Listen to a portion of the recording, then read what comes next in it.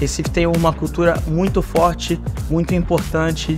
Estar aqui falando algo que seja incentivo para a menosada, para a galera que está chegando, para a galera do futuro, que são vocês mesmo, para mim é a coisa mais importante que tem. É excepcional. É um negócio que a gente fica emocionado de ver a aceitação da comunidade pernambucana. Privilégio enorme. Nós estamos é, galgando um patamar muito forte, muito superior dessa área de tecnologia.